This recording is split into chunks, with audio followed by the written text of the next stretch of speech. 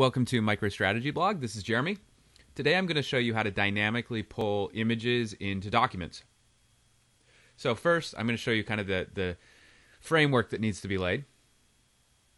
I have four images here. They're actually repeats of two images. Old school hip hop party soundtrack, Ratatat, and then three is also old school and Ratatat again.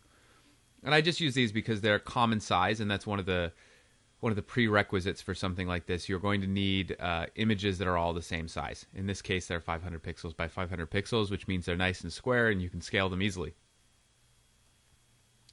Next, I'm going to be looking at the category performance report, and this is in the MicroStrategy Analytics modules, and I'll go ahead and leave the extension in the blog and on the YouTube video, so if you want to mimic this exactly. so I'm going to create a document from this report. But uh, actually, before I do, let me go ahead and show you the report itself and the pieces that I'm going to be using. So you can see how the report works. It's category, subcategory, region, month. So I'm going to move category to the page by axis. And then I'm going to add the attribute form by right clicking on the category word itself, attribute forms ID. So you can see that number that category books is 1, electronics 2, movies 3, music 4, which is why I have 1, 2, 3, 4 here. Okay? So I'm going to be actually using the ID number to populate the JPEGs. As opposed to, say, if I were to use the description, the description might have spaces, which could be a problem when you end up, say, instead of a C drive, you want to put this on a publicly available uh, intranet site or internet site. You don't want spaces, so just try to deal with IDs. Uh, keys usually are numbers, and if they're not numbers, um, they're usually strings without spaces, hopefully. Okay, so this is the report that we're going to use. So I'm going to right click on that report and go create document. So it's going to automatically load this document in with the document itself in the header. I'm going to get rid of the detail and the detail footer. And the first thing I'm going to do is I'm going to remove category from this report because uh, I don't need it. I'm going to remove it from the grid. And then I'm going to change that. I'm going to grab that category and I'm going to add it to the grouping. So you can either add it uh, by dragging or you can right click and go add to grouping. so now I have a category header along with my detail as well as a category footer. I'm not worried about the footer. So I'm going to grab this category. I'm going to actually grab the word, the uh, attribute category, and I'm going to make it large let's say 18 bold. And I'm going to go ahead and run the report just so you can kind of see how this looks. So now I have my books. I have my electronics, movies, and music. And you can see each one is its own report. And of course, uh, as I've shown in earlier videos, you can make all your own subheadings. And uh, this logic that I'm going to be showing you will hold for everything. So, now that I have category, let's say I wanted to add an image of that category. Say I had a an icon for movies, uh, an icon for electronics, something to make it look a little better. So, insert image, and I'm just going to click on it. I'm not necessarily going to drag. And keep in mind that I put it in the temp folder.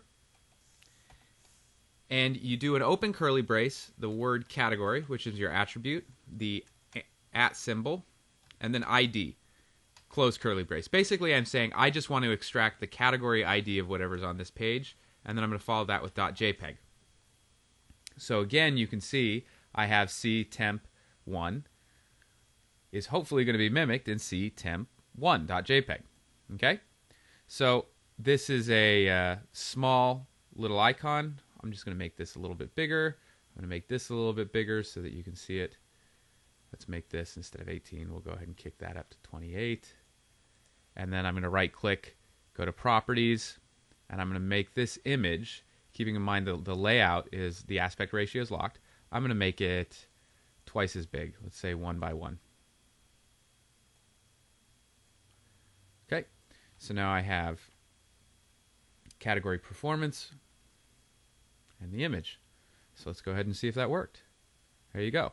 So now I have my movies. Category one is old school, or I'm sorry, books is category one, which is old school hip hop. Electronics, again, movies, which is category three, old school hip hop. and music, category 4. So there's lots of tricks that you can do with this. Say you uh, even wanted to add a, a subcategory where you have a smaller image. Let's go ahead and just do that for fun. So I'm going to go ahead and go to Amazon. And let's grab another, uh, uh, let me think. I'll say Explosions in the Sky. They're a band that I like. So I'll go ahead and pull their new album, Take Care, Take Care. So I saved it as image 1 1. There it is. And if you'll remember, if we go back to the report, category performance report, so subcategory has its own IDs, and you'll see arts and architecture is 1 1. So we can go ahead and repeat that process. Now let's go ahead and add uh, in the detail can add another page by subcategory. And we can remove this.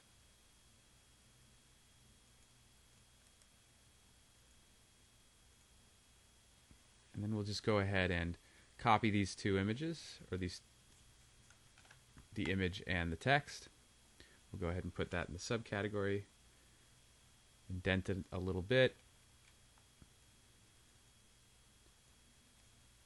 say subcategory.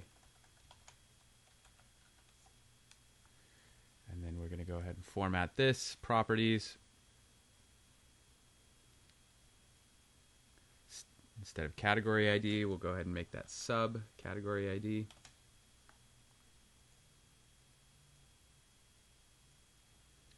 Let's go ahead and test it. So if we go into books, arts and architecture, there's your first image and your second image. So this is great if you have static images in a common size that you can pull for your reports to make them a little more dynamic, and this uh, holds in the web as well. Once again, my name is Jeremy. You've been watching MicroStrategy Blog. Thank you very much.